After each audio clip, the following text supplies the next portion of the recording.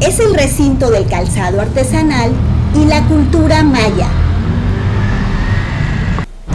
Podemos viajar desde la central de autobuses de Mérida o en colectivos, los cuales tienen un costo de 50 pesos y el recorrido es máximo de dos horas.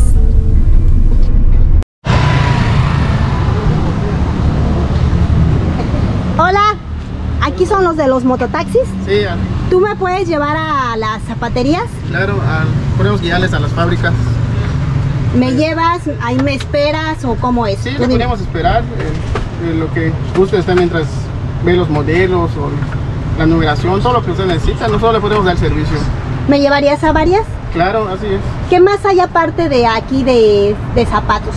Eh, hay artesanías de barro, que es el segundo este, pues, fuerte de Ticul, la, alfarería. ¿Y el costo más o menos en cuánto me sale que tú me, que me lleves, me esperes y eso? sí? Pues tendría normalmente un viaje, son de 10 pesos, de 10 a 15 pesos, depende del tiempo que haga, o en dado caso nos puede rentar por horas. Dependiendo de la zapata, a los Ajá, lugares que de la distancia, o sea, si está cerca, pues le saldría más por hora. O sea, contratar un, un tiempo. Ok, entonces vamos.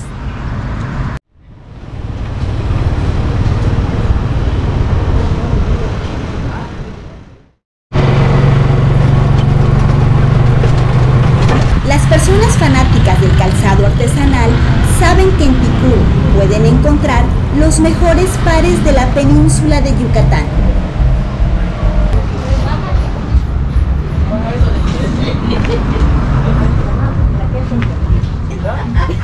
Hola. ¿El costo de sandalias o varía el precio? Depende del modelo. Podemos encontrar diversos tipos de calzado, desde bebés hasta un poquito más grandes. Por el tipo de clima en la zona, lo más usual es encontrar zapato abierto, ya sea en tacón o de piso. Este tipo de bota, ¿qué precio tiene? 380 mayoreo, 380 mayoreo. Y si yo solo quiero una, 400. a ver, me das el del número 3, por favor. Es esta. ¿Dónde me la pruebo? Vamos para acá. Están hermosas. Dime dónde.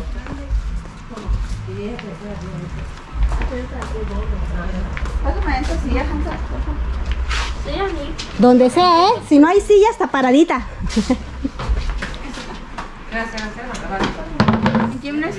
Sí, ¿cuántas fábricas de calzado hay? La verdad son muchas. Tenía más de 200, no sé. Es un estimado.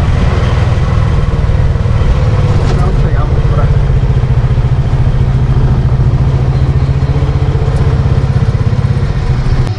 Bueno, aquí vemos también una fábrica de bolsas. Vamos a checar. Hola, ¿qué tal? Buenas tardes. Buenas tardes. Quiero ver sobre tus bolsas. ¿Es una fábrica? Es, sí, de hecho, esta es una fábrica de bolsas de dama. Manejo lo que viene siendo modelos tipo artesanales, lo que viene siendo la cultura, lo que viene siendo los ternos. Son variantes en las presentaciones del estampado, como usted ve, el bordado, el matizado con los puntos mayas y direccionales en diferentes formas. O sea, es como los vestidos, los ternos Sí, que dices. De hecho, estas bolsas son las típicas. El tipo de bordado es el que se lleva con los cipines, los ternos, como usted quiera O sea, llamar. me compro mi vestido bonito así y me llevo mi, Sí. mi bolsita, ¿no? ¿Y precios? Parece más o menos este precio modelo. individual es de 285 menos 20 pesos por unidad a partir de tres productos de piel. ¡Esta es la perfecta! ¿Precio? 215 para 195. 215.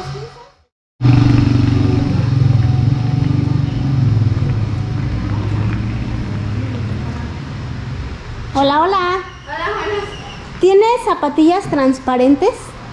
Transparentes. Ajá. Transparentes, vendes mayoreo, a partir de cuántas piezas. A partir de 4 de pares son 30 pesos menos.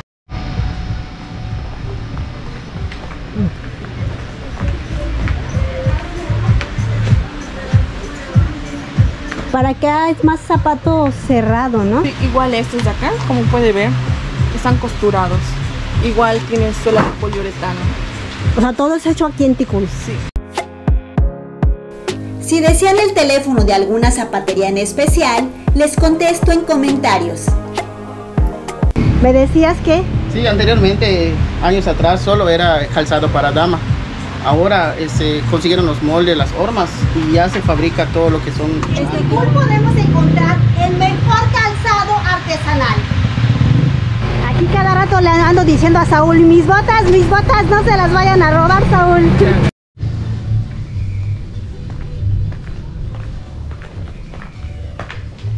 Hola, buenas tardes. Buenas tardes. Ustedes me dieron una tarjeta en Mérida, si es que vengo a ver sus diseños. Sí.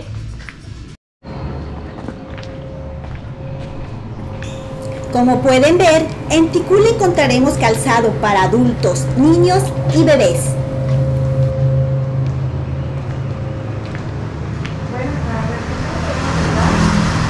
Gracias, queremos ver sus, sus calzados, sus sandalias. ¿Tendrá algunas transparentes? Esto es completamente yute. Sí, Y eh, me decías que el Y ahora tacón, vienen ya impresos. Ya vienen en- en el- impresos. En el, plástico. pero es mucho mejor así, ¿no? Como, el- bueno, a mí me encanta mucho el que tiene Sí, ella, porque sí. es más, más artesanal. Sí. la variedad, sí. exactamente. De hecho tenemos otro aquí, un poquito más alto.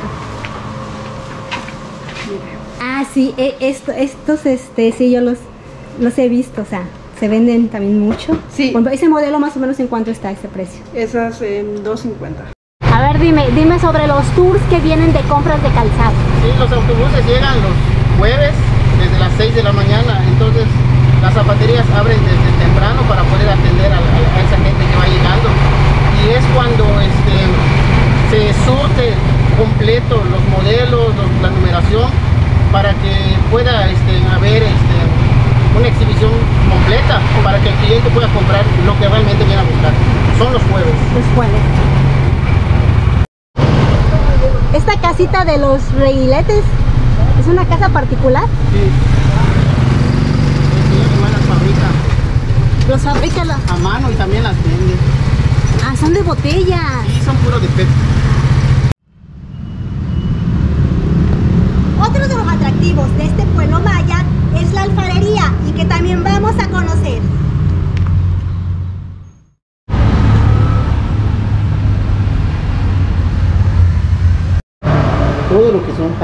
Desde el más grande hasta el más pequeño, se hacen a mano, en un torno. Ya los que son otras figuras, algunos tienen molde. Pero me decías que las figuras grandes se pueden diseñar. ¿Se yo puedo traer un modelo pequeño? ¿Sí? Y se hace el tamaño que se usa. Es de ese barro fresco antes de, de coser. Está un poco húmedo.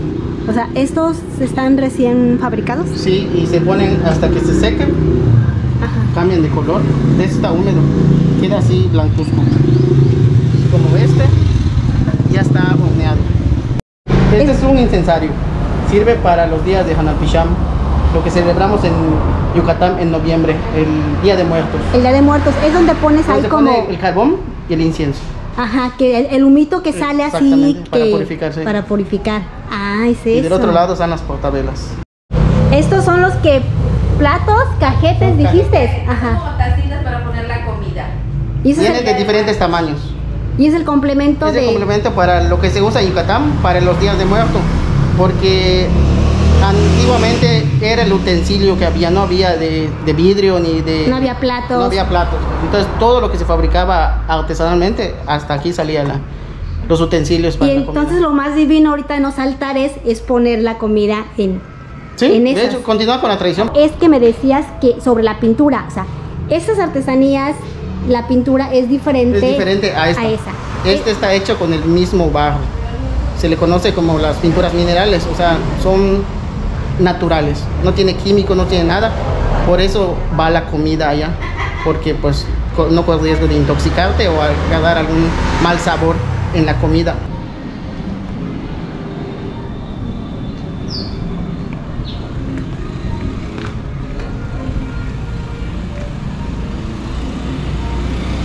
Esto está hermoso para decoración. Son puras estelas. Dioses mayas. Esto no es pintado. No. Esto es Es a relieve, se va, se va quitando el color. Todo, todo era de este color. Y se van quitando para que quede blanco y entonces ya empiezan a salir los detalles de los O sea, le vas haciendo el diseño, le vas como descascarando. descascareando. Qué Ese es el trabajo artesanal. Qué trabajo. Y por eso se debería de respetar el precio del, ahora sí, del... Exacto, de la- darle el valor adecuado. Y si quieren comer algo rápido y sencillo, en el mercadito encontrarán platillos desde 100 pesos.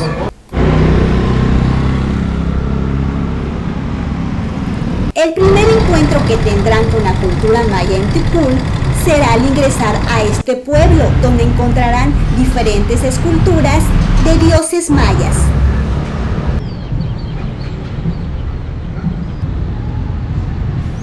La belleza de Ticul ha llevado a que sea llamada también la Perla del Sur.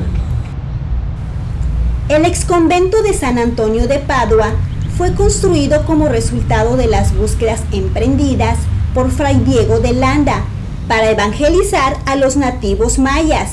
Cada que encontraba un asentamiento, construía una pequeña iglesia. Ticul es una de las ciudades más visitadas en Yucatán debido a su gran producción de zapatos, siendo esta la principal actividad económica de sus habitantes. Suscríbete, me gusta o comentarios. Gracias.